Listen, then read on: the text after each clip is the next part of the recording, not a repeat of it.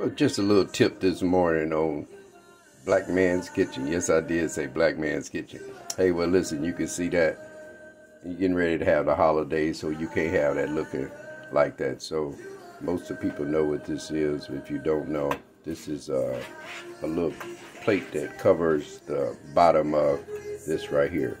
Well, you can see right in here, it sort of protects that for uh, grease or something going down in. Now, the first thing I'm going to do I got some uh, baking soda and you can use regular vinegar. I don't have regular vinegar, but you can use the same thing. It won't hurt it. I put it in a bowl. You can see that my sponge done soaked it up. And then I'll put a little soda in there. You don't need much. You can dap that around in there.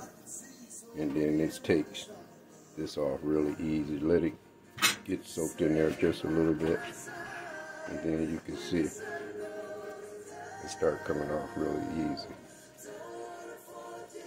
You can see it. So. If you let it soak a little bit, it's even easier. But this little eraser thing really works good for it. See it. I get that off. Because see, one thing about it, you don't want people talking about your, your food was good, but your kitchen didn't nobody really want to eat the food because they looked at your kitchen and you can't have that. That's grease in there. And this will stop a fire too. You keep this clean. You don't have this packed up with grease.